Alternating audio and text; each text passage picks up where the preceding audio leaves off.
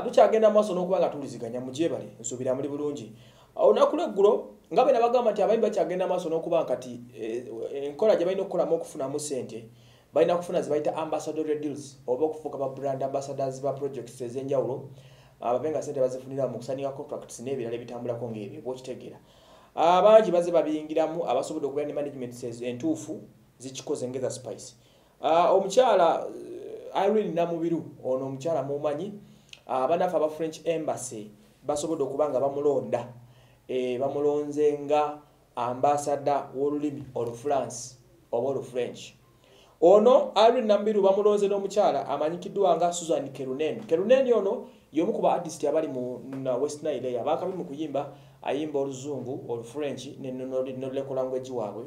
Ono bamulonze ne uh, irene namubiru omulenzi okwebuuza lwaki irene irene namubiru alina erinnya lye bayita morel erinnya morel linnya lya irene lye yafuna ku bawe omufalansa bamwitangani yali yalingani ogayi manyiko lya morel eh, eyamuzaalamu n'abaana babiri baalina. Yasooka okumuwasa n'amutwala e bufalansa era irene yabeera nnyo e bufalansa eyo. Era agenda okuvaayo ng'oluzungu olwolufalansa alukuba budinda.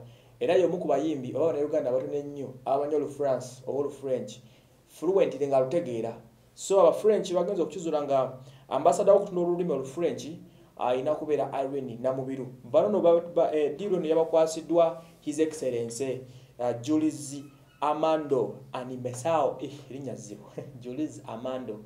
Julis amando ono ye french ambassador.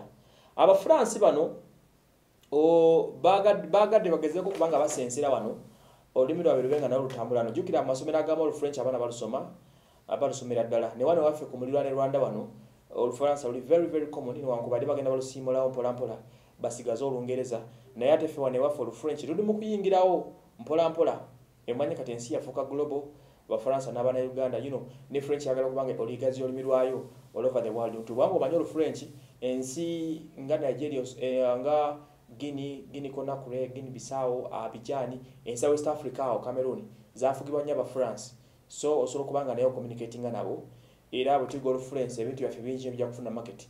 Mu bitundu byeyo naddala firimu zetuzanya byetuyimba anyway.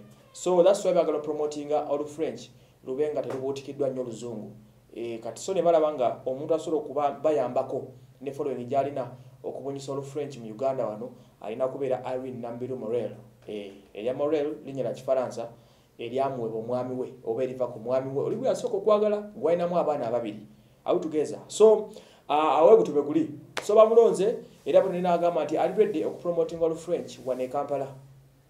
E, kitegeeza bwe ennimi nga olufrench oluchina zongedde okujja uh, oluswahili we luli wano n'oluzungu. Yeah. zongedde okusensera. These are the languages which can unite us as ugandans. Nawasigadde nze wasio manuel mwebale nnyo okuba nga mutugoberera